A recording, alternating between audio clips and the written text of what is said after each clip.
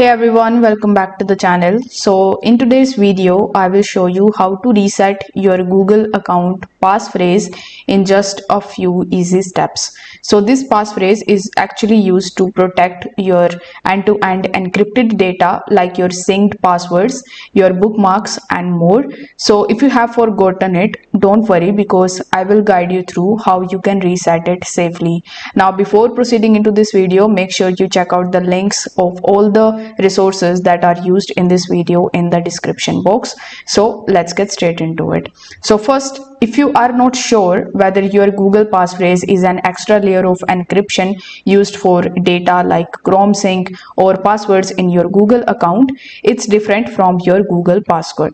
So you can reset it, but be aware that you will lose the encrypted data stored with it, like saved passwords and autofill info unless you remember the passphrase. Now you need to open your web browser and over here in the search bar you need to simply type myaccount.google.com now you just have to simply log in into your account if you are not already signed in. Once you are inside here you need to hover over to the left hand section and click on data and privacy tab. Now over here you need to scroll down in the bottom.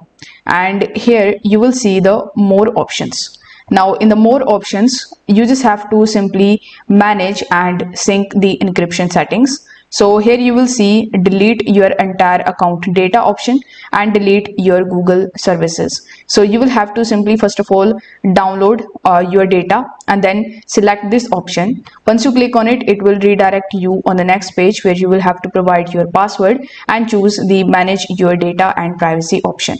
Now over here on this page itself, you will have to try to find the option of sync and personalize.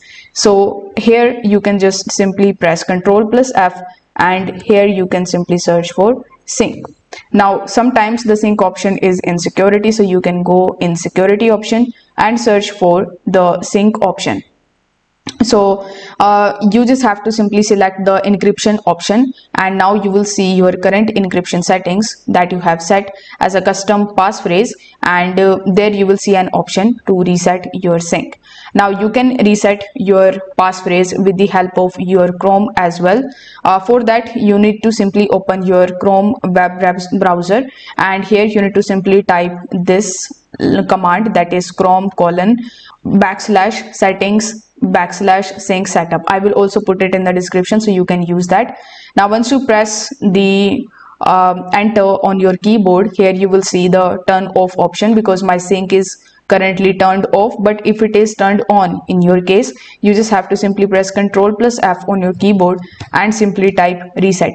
Now you can click on reset to default and you can just scroll down and in the restore setting you need to click on it and click on reset your settings. So what this will do is it will delete your synced data from your google's services and after that you can just start syncing again with a new passphrase or you can choose a standard encryption.